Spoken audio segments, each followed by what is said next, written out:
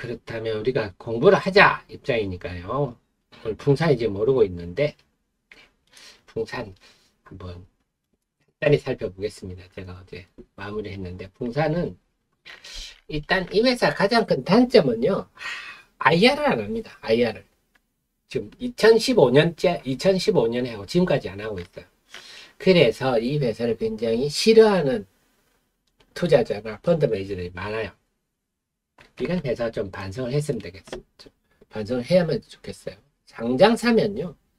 어, 주주들의 돈을 모았으면요. 주주들에 대한 뭐 응답을 해줘야 되는데 요게 지금 그런데 이 회사는 뭐 신동사업은 재련업체로부터 구리를 공급받아서 이거를 막 판이나 봉이나 막 동전이나 이렇게 만드는 게 주력인데 이제 방 그러니까 이쪽은 굉장히 구리 가격에 영향을 크게 받습니다. 네, 수익성을 보면요 딱 두 가지로 됩니다. 수익성 재고자산 평가 손익. 일단 구리를 재고로 들여와야 되니까 그 다음에 이 구리 가격이 움직임에 따라서 이게 뚫어져 버리면 손실로 발생하고요.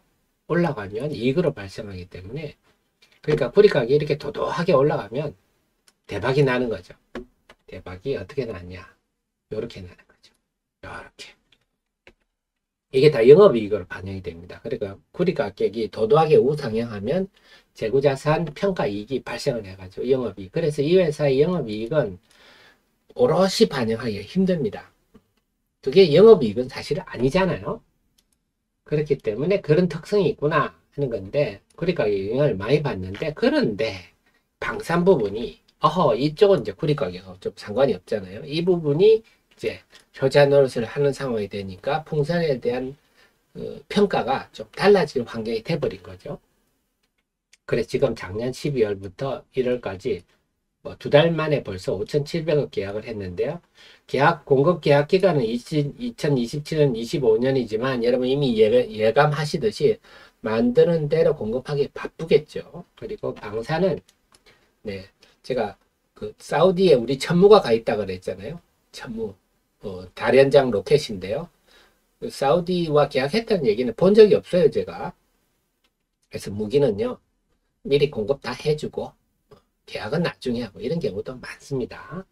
그래서 지금 이거 외에도 뭔가 많이 해서 가고 있지 않을까 또 생각해 볼 수 있는데 어쨌거나 방산 부분이 어떤 새로운 캐시카우로 자리매김하고 있다. 그래서 지금은 국제 돈 가격에 따라서 실적이 춤을 추는 구조였는데 그렇지 않은 부분이 생기고 있다 하면서 방산부 매출이 급증하고 있죠.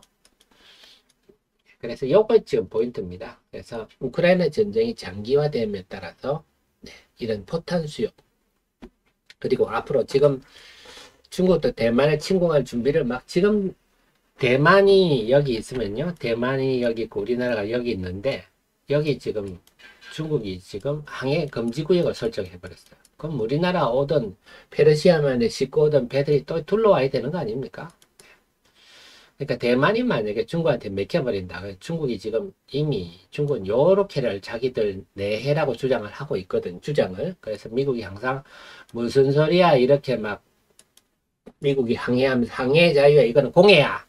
국제 수역이야 니거 아니야 이러고 있는데요.